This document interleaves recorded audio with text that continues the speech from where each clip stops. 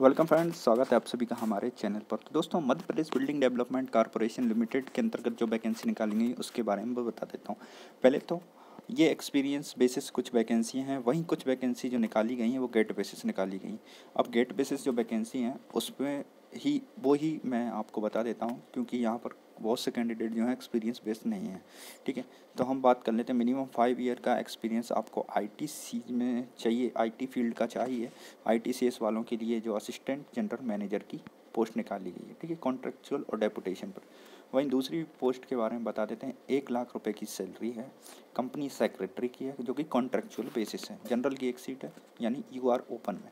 वहीं क्या क्या होना चाहिए? Should be qualified company secretary का जो पेपर होता है ICS वो होना चाहिए। पाँच साल का एक्सपीरियंस होना चाहिए। और एडवांस अकाउंटिंग का नॉलेज ठीक है? इसी प्रकार से चार्टर अकाउंटेंट का है आई सी ए आई होना चाहिए। एक लाख रुपये सैलरी और मिनिमम दस साल का एक्सपीरियंस लीगल एडवाइज़र के लिए वही हम बात कर लेते हैं सिविल की। तो सिविल में क्या है? मैनेजर टेक्निकल वैकेंसी चौवन सौ ग्रेड पे और रेगुलर पोस्ट है नॉट ए कॉन्ट्रेक्चुअल, यानी परमानेंट पोस्ट है, जनरल की एक फ़िज़िकल और वो भी एससी की ज़ीरो एक वैकेंसी निकाली गई ठीक है बी होना चाहिए आपके सिविल के लिए।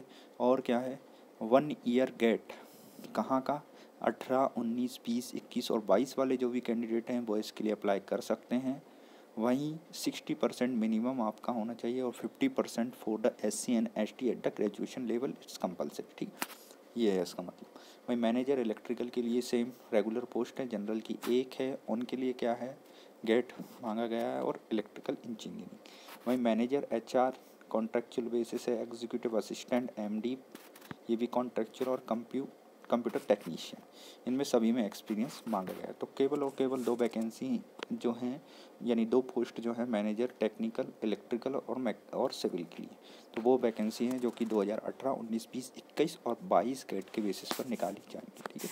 तो ये थी पूरी जानकारी Madhya Pradesh building development corporation में निकाली गई पोस्ट के बारे में। धन्यवाद दोस्तों चैनल से जुड़े रहिए सब्सक्राइब करना ना भूलें।